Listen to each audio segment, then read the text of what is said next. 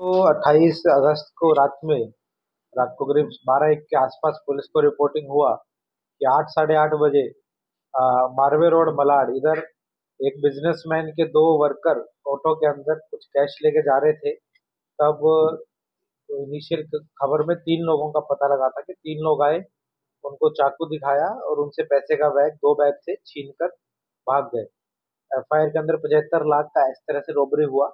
ऐसी F register की थी, उसके अंदर इमीडिएटली हमने पूरे जोन के सब डिटेक्शन ऑफिसर कम से कम सत्तर अस्सी लोगों की स्टाफ को इसमें काम पे लगाया और चार दिन से पूरा मुंबई, थाने, मीरा रोड, रायगढ़, औरंगाबाद, नासिक अलग अलग जगह पे जहाँ जहाँ क्लू मिला इन्वेस्टिगेशन करने के बाद, अभी तक इसके अंदर सात लोगों को अरेस्ट करने में पुलिस को सक्सेस मिला है।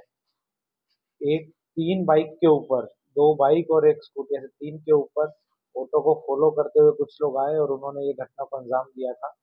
और खास करके जब इन्वेस्टिगेशन में आगे जाने के बाद जो एक वर्कर जो दो थे उनमें से एक वर्कर की खुद की इन्वॉल्वमेंट इसके अंदर निष्पन्न हुई है और उसके वर्कर के इन्वॉल्वमेंट होने के कारण उसको भी अरेस्ट किया है।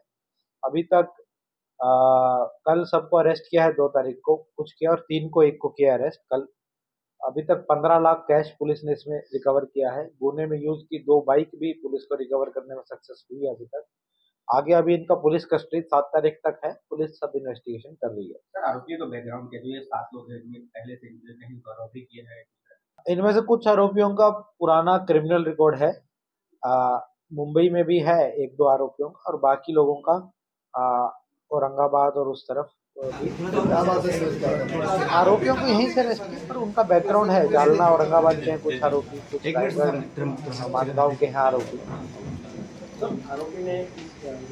दुश्मन हुआ है। एक कॉन्स्पिरेसी ही है कॉन्स्पिरेसी है इसके अंदर। जिसके खुद से जिससे छीना गया था वो खुद इसके अंदर इन्वॉल्व है। तो ये इनसाइडर जो भी है और अभी कुछ आरोपी